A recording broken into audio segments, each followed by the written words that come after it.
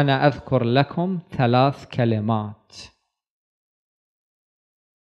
هذه الكلمات يمكن أن تعرفنا على جوانب من شخصية سيد الشهداء. الكلمة الأولى هي الكلمة التي نجدها في حديث اللوح. هذا الحديث الذي هو كنز من كنوز آل محمد.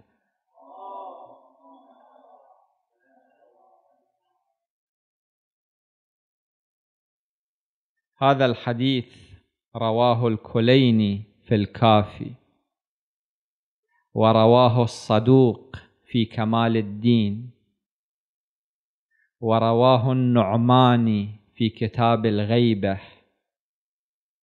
ورواه الشيخ الطوسي في كتاب الغيبة. ورواه ابن شهر آشوب في كتاب المناقب. الحديث طويل وهو يشكل كنزا من كنوز المعرفة. هذا الحديث الذي جاء به جبرائيل إلى النبي الأعظم صلى الله عليه وآله.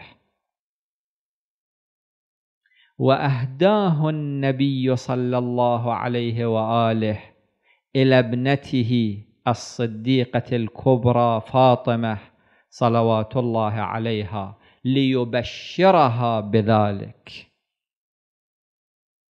الله سبحانه وتعالى يقول في هذا الحديث وجعلت حسينا خازن وحيي.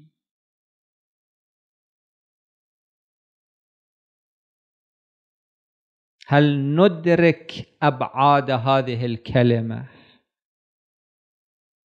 ما هو مبدأ الوحي؟ وما هو منتهى الوحي. مبدأ الوحي وعلم آدم الأسماء كلها. هذا مبدأ الوحي.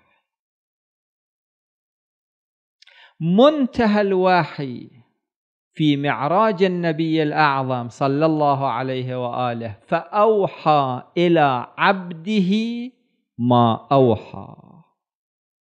هذا هو المبدأ وهذا هو المنتهى. الإمام الحسين صلوات الله عليه خازن وحي الله. هذا جانب من عظمة سيد الشهداء.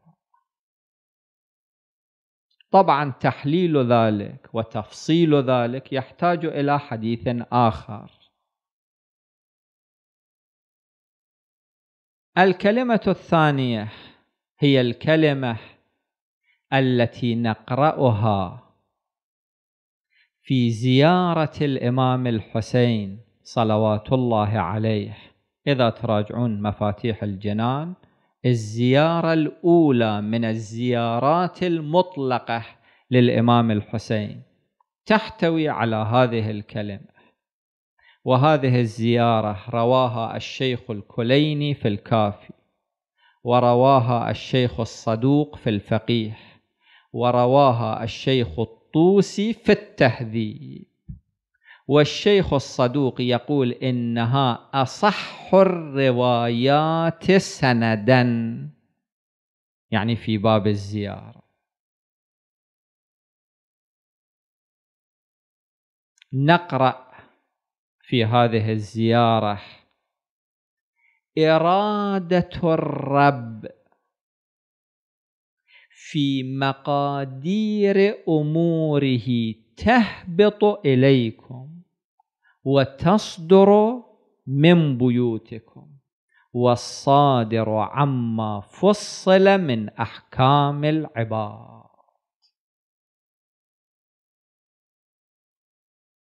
الولاية التكوينية المطلقة التي أعطاها الله سبحانه وتعالى لسيد الشهداء وللنبي الأعظم صلى الله عليه وآله ولأئمة أهل البيت. إرادة الرب في مقادير أموره تهبط إليكم وتصدر من بيوتكم. الكلمة الثالثة هي الكلمة المعروفة عن النبي الأعظم صلى الله عليه وآله حسين مني وأنا من حسين.